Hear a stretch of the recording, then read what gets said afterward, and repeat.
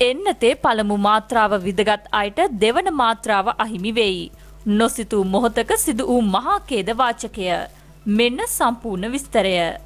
Corona මර්ධනය සඳහා භාවිතා කරන ඇස්ට්‍රාසෙනකා එන්නත් මාත්‍රාවන් ප්‍රමාණයක් ශ්‍රී ලංකාවට ලබාදිය හැකිදැයි කොංගෝ රජයෙන් ශ්‍රී ලංකාව විමසා තිබේ. ජනාධිපති ගෝටාබේ රාජපක්ෂ මහතා විසින් කොංගෝ ජනාධිපතිවරයා වෙත විශේෂ ලිපියක් යොමු කරමින් මෙම ඉල්ලීම කර තිබේ. ඉන්දියාවේ නිෂ්පාදිත ඇස්ට්‍රාසෙනකා එන්නත් තොග කොංගෝ රජයේ තිබීම හේතුවෙන් එම තොගෙන් යම් ප්‍රමාණයක් මිලදී ගැනීමට මෙම ඉල්ලීම කර තිබේ. මෙරට ඇස්ට්‍රාසෙනකා එන්නත පළමු මාත්‍රාව ලබාගත් අය වෙත දෙවන මාත්‍රාව ලබාදීමට ශ්‍රී ලංකා රජය සතුව එන්නත් මාත්‍රා නොමැතිවීම හේතුවෙන් මෙම ඉල්ලීම කර තිබේ. දැනට කොංගෝ රාජ්‍යයේ ලක්ෂ දහතුනක ප්‍රමාණයක් එම එන්නත් අතිරේක තොගයක් ඇතැයිද වාර්තා වෙයි.